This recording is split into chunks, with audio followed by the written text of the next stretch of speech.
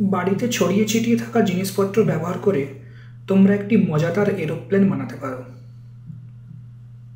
দেখো, এরোপ্লেনটি গ্যারেজ বানানোর জন্য আমরা তার ইউজ করেছি, ব্যবহার করেছি এবং এরোপ্লেনটির চাকা বা হুইল ব্যবহার করার, তৈরি করার জন্য বোতলের ক্যাপ ব্যবহার করা হয়েছে।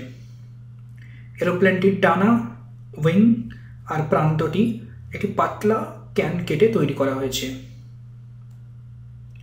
এখন এরোপ্লেনের সামনের দিকটি যদি ঘোরাও, তাহলে দেখবে এটি বেশ ঘুরতে শুরু করেছে।